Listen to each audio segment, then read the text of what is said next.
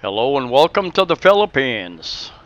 My friend uh, took the camera and went shopping the other day, and what she's found is that some of the stores that are open they don't have the items that you're looking for, so you need to uh, hunt around at other stores. And uh, oftentimes when she goes shopping, I might get two or three or four different videos out of those uh, shopping trips that she makes. So no, she doesn't go out every day.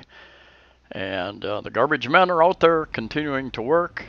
Uh, some of the streets are closed off, and uh, there is pretty much there are very few buses. There are few buses in certain localities, but uh, they don't run that often. Uh, social distancing, even here at the bakery shop, uh, they've got they've got some twine around, some rope around, so you have to order from outside the shop, and they'll bring you your goods. And anyway, she went for a walk, and she was going to Robinson's Galleria. She was at uh, Robinson's Fuente the other day on Fuente Osmeña Circle. Didn't find, well, actually, it was, they had long back of people waiting to get in, so she didn't wait there. She went to Fooda, got a few items, and now she's decided that she can probably find what she's looking for at Robinson's Galleria. Well, this is a new condominium. It's been under construction for a number of years. Um, uh, let's see, what's it called? Uh, Cebu City Lofts 1. And uh, it's not open yet. I looked online, couldn't find any pricing about it. Uh, it's been under construction on again and off again. Apparently, they are tied in with the Crown Regency as well as Club Ultima. Uh, so I'll do another video about that later as I've, I've got some video I took for, uh, with some people over at uh, Club Ultima. The water business is alive and well. Uh, pretty much everybody here orders water in these five gallon jugs. And uh, if you pick it up at one of these places that cleans it, uh, purifies it, you can get it oftentimes for 15 to 20 pesos per five gallons. And uh, I have it delivered for, I think, 40 pesos a piece, which is just fine. 80 US cents for five gallons of water lasts almost, uh, almost usually five, six days. And anyway, the people that out, they have to have passes to be out walking around. Occasionally somebody gets arrested for not having a pass, or even if they have a pass, if they uh, are wandering around and they don't have a good reason to be wandering around, they have they have arrested some of those people as well. And everybody is pretty much wearing masks.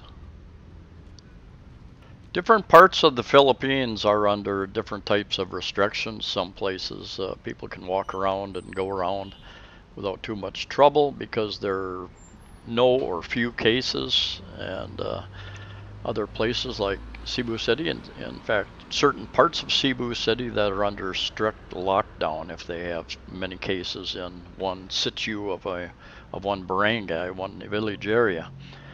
Uh, then they're very strict. Uh, now here at it's uh, this time they are talking about uh, you know the the quarantine lasts until the end of April officially, but they're they're discussing with the experts whether they can uh, lift some of the quarantine, make a modified quarantine in certain areas where there are a few cases, uh, whether it will be extended as is in all places, many of the places. So the regions have some local control, as does the federal government have some control.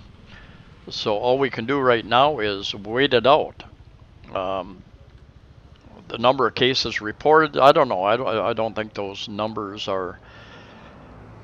Uh, they're important, but only to a point. For instance, how many, you know, there's been many reports around the world of, of test, testing with false negatives and false positives.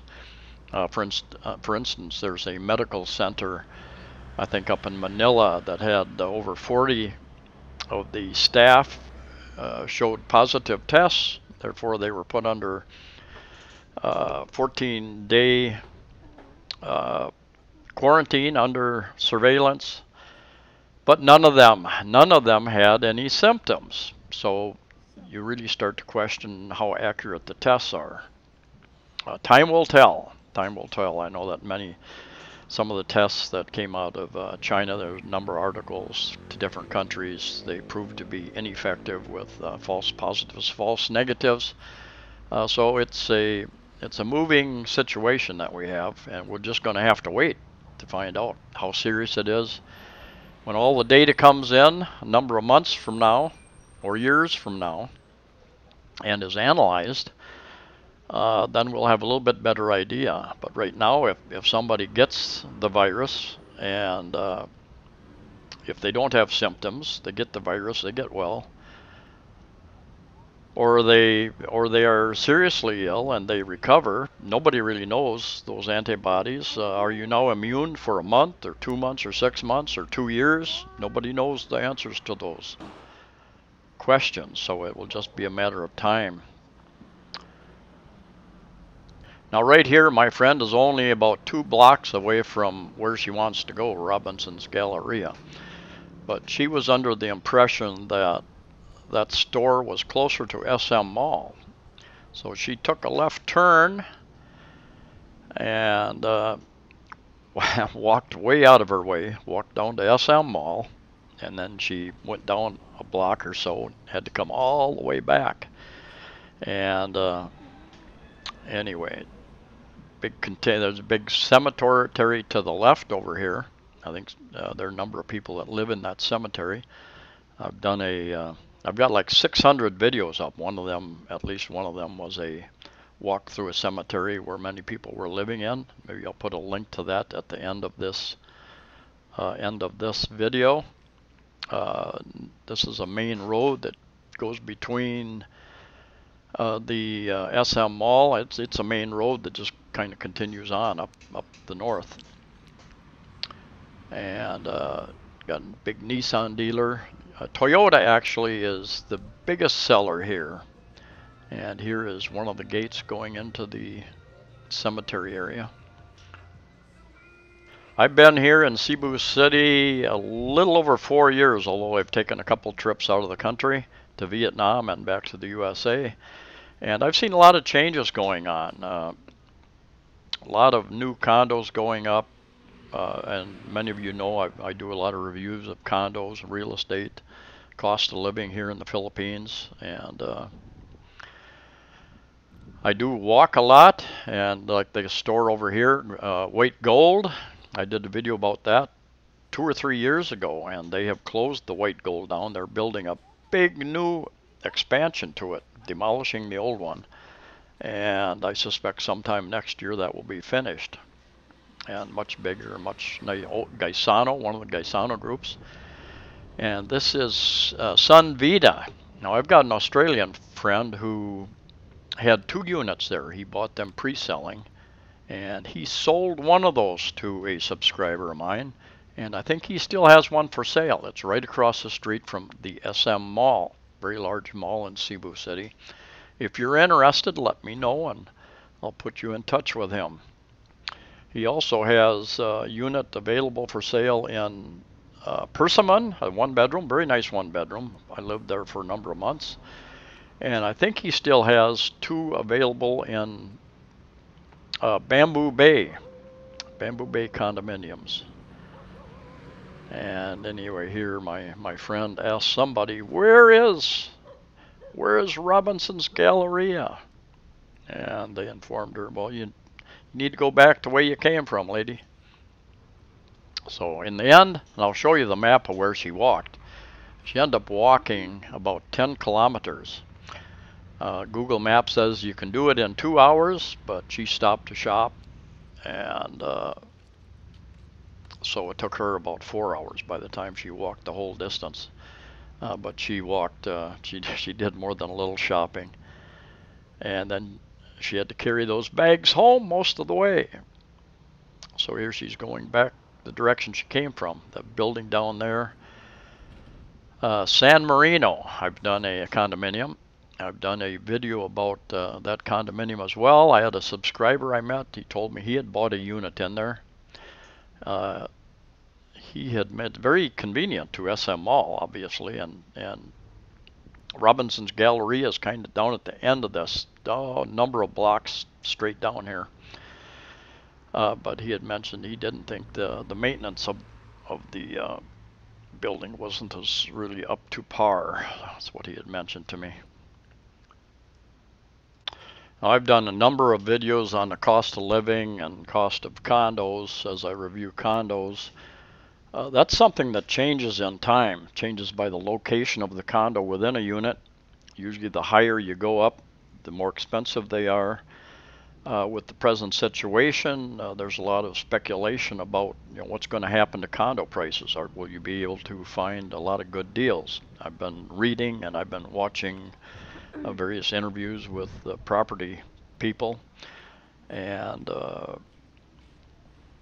in in a month or two or three, I will do another video about that. But uh, there will obviously, as there always will be,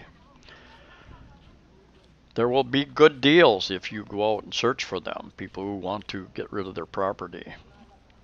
And look out for that hole. I have fallen in a few holes like that walking at night without a flashlight, and I've learned to always carry a flashlight with me.